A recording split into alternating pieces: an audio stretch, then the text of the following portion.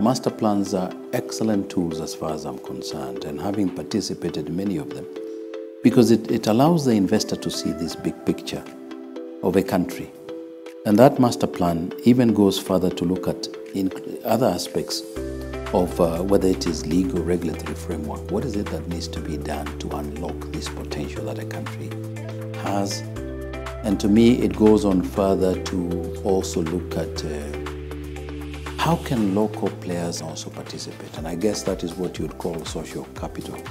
Because in the absence of local participation, then there is a cost element by having limited local participation, not developing capacity, and what I would call acceptance. In, in my thinking, it's kind of a de risking tool in a way, rather than somebody coming in and trying to wonder where do I start and where do I go and what is in existence in the first place. The master plan is not cast in stone.